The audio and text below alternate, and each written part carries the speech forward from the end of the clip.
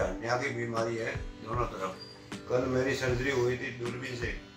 दो तीन घंटे के बाद में मैं थोड़ा थोड़ा चलने लगा हूँ अब मेरे को कोई तकलीफ़ नहीं है चल भी सकता हूँ फिर भी सकता हूँ उठने बैठने में सोने में कोई तकलीफ़ नहीं है।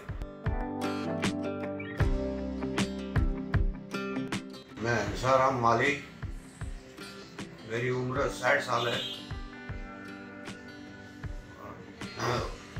मेरे को हड्डिया हुआ था। डॉक्टर चक्कर से मिला। उन्होंने सर्जरी करने का बोला। कल मेरी सर्जरी हुई थी दूरबीन से। दो तीन घंटे के बाद में मैं थोड़ा थोड़ा चलने लगा हूँ। और उसके बाद में मैंने खाना भी खाया। अभी मुझे कोई अच्छा लगता, कोई अभी कोई तकलीफ़ नहीं है। अभी मुझे मेरा नाम हंसाराम है। दो तीन दिन पहले सर्जरी कराई थी।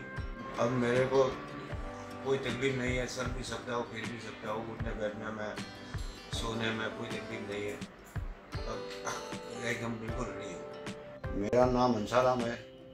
मैं तीन महीने पहले सर्जरी कराई थी। अब तीन महीने के बाद में बिल्कुल सब रेडी है। डॉक्टर साहब को अभी चेक कराया। सब पहले जैसे काम करता हूँ, अब एकदम रेडी है।